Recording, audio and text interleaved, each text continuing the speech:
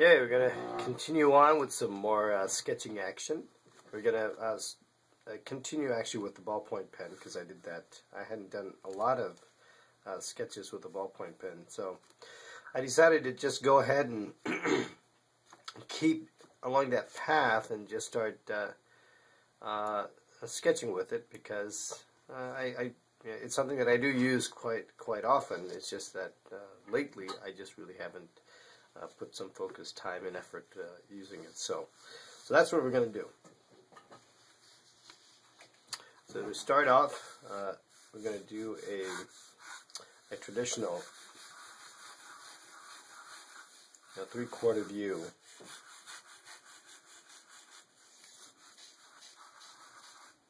I think you'd seen previously, you'd seen me draw these three-quarter views with uh, a Sharpie marker. not doing anything different except just drawing it uh, with a, a ballpoint pen.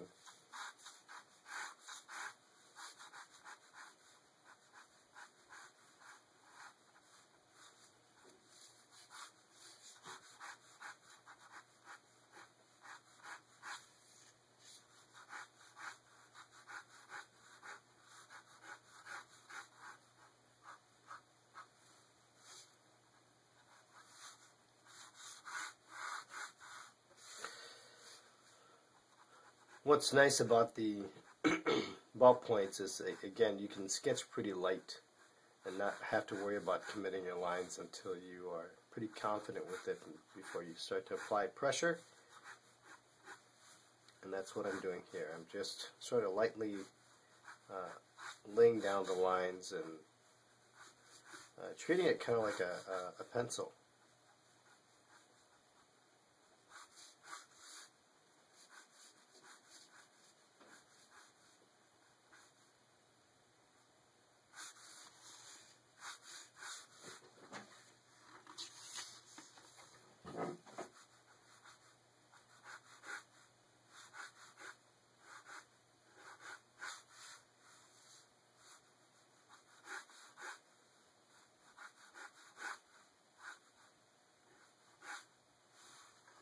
Okay, so, alright, so we've got this, and I'm going to just add uh, some shape uh, for a headlamp here.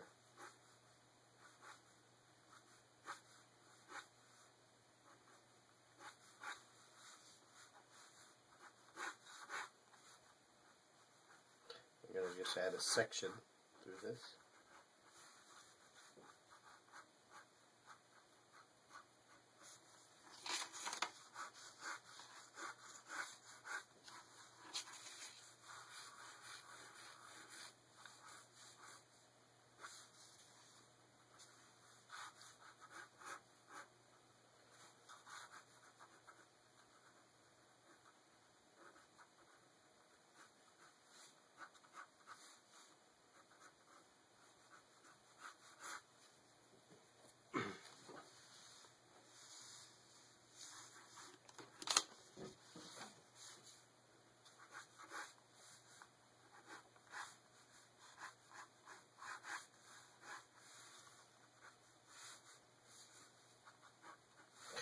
So as I as I go through and, and make a run through the sketch,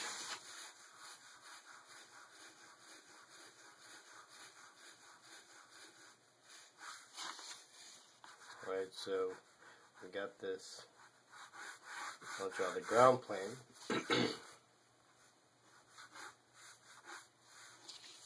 As you've seen this in several of my drawings here.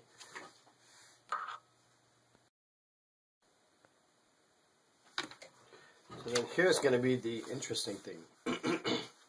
as I as I start to work on, on the grill shape, so let's just talk about this here. So I, I I'm looking at a grill shape. I'm just adding this chamfer.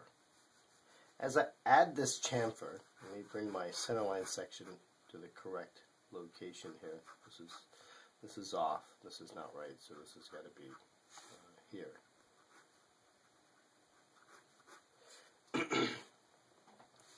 So as I got my, my, my chamfer here, I'm going to bring my grill up a little bit more.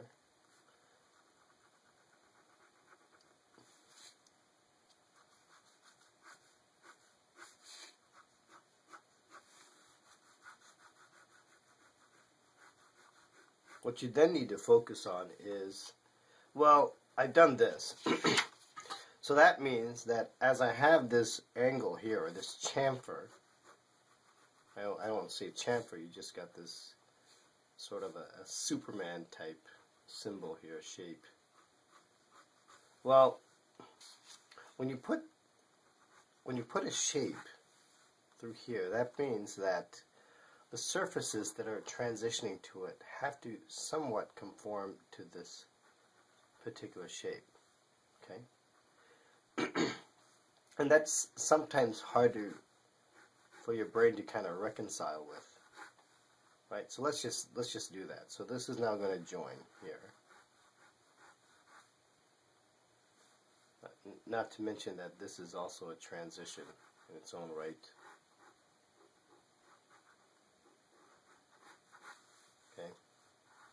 And then this is going to also join.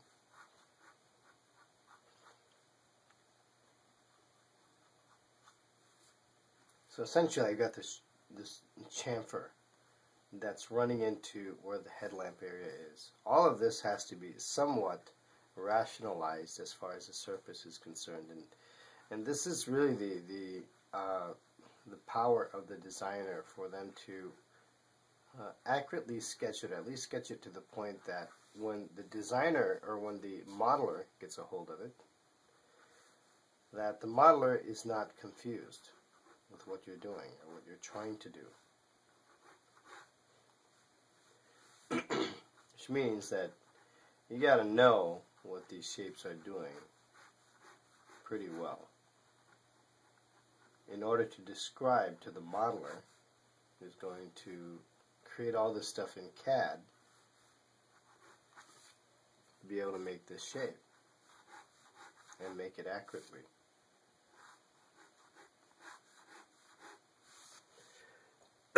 So as you see, I, am just going section by section. Okay.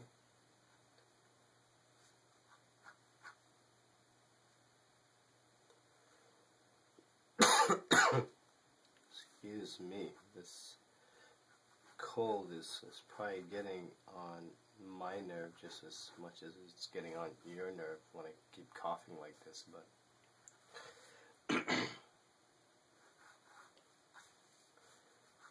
okay, so this is your, your headlamp. We get a somewhat of a, a surface transition here, and then let's just do this got some sort of a shape that this headlamp is, is doing. Okay. Okay. All the while, now, now that we've got that, we've got this shape here. I can add a little bit more depth to this.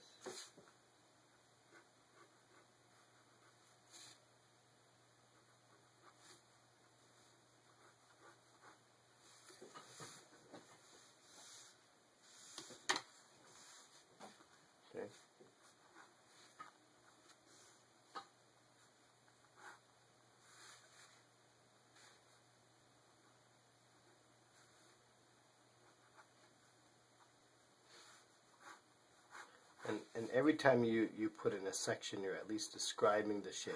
You're describing the form. now, uh, a fog lamp. Now, one thing you can do is you can just start to add the shape as it is. I mean, just start to look at how you want to add what the shape of the lamp, fog lamp area is going to be. You can say, well, I want this to be bold. I want it to be noticeable.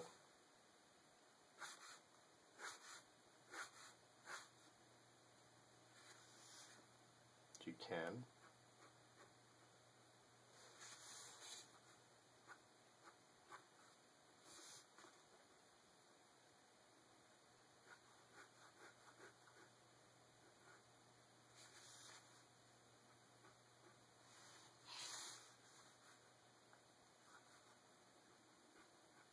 And then you'll start to add in little details like the actual light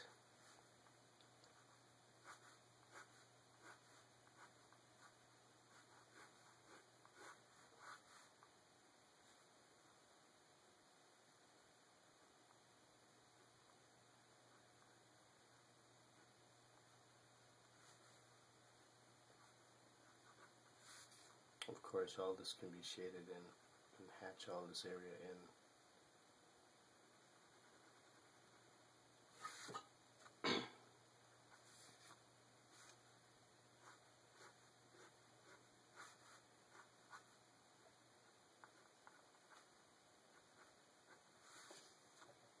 Okay.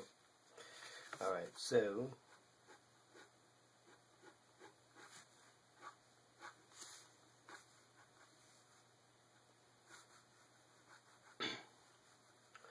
then from here you can have some sort of relief. So what's happening in this section is you got this. This is going down. This is coming back up and then you've got this. so that's basically what you have. You have sort of describing what's happening in this particular area. Okay.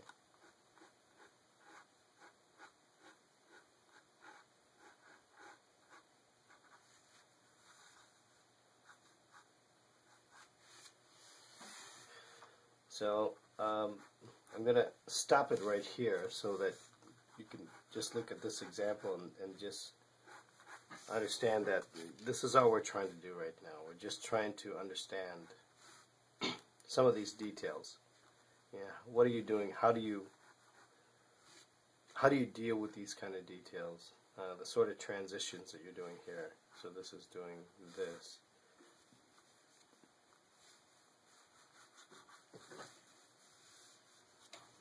So if I wanted to clean this up,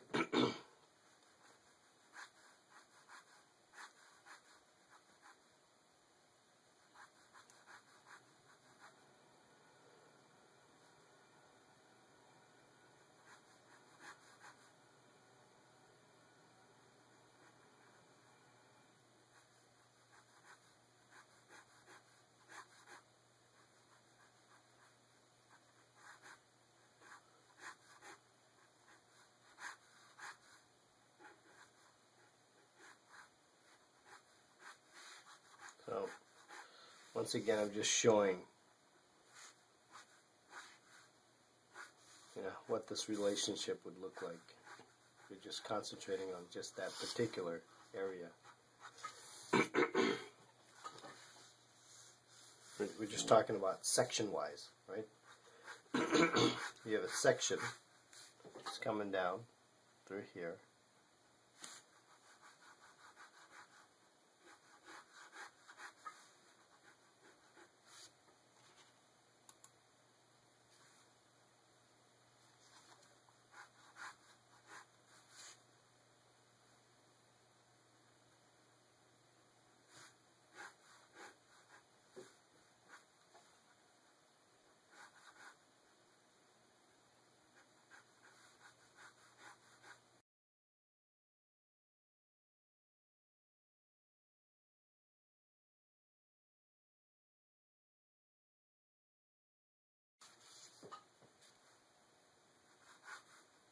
So that's uh, that's basically what you're wanting to do when you start to experiment is is to really understand how do these transitions work and how are you supposed to deal with those transitions.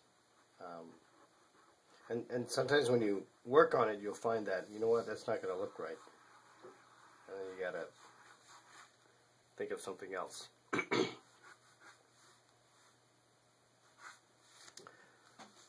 so in any case. I hope you enjoyed this particular tutorial. We'll see you next time on drivenmavens.com. Have a good one.